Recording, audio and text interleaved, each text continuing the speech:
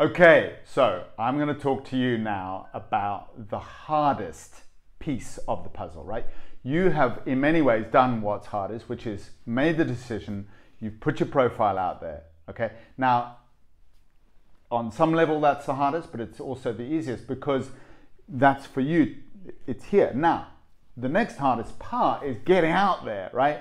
Because we are terrified of human beings, of what is the biggest thing we're terrified of? Failure right? But actually, there is no failure. Failure is a concept in the mind. Failure only means an opportunity to improve. So, my challenge to you today is to reach out to one person, get on the phone, do it in person, and tell that person about your project and make a specific request.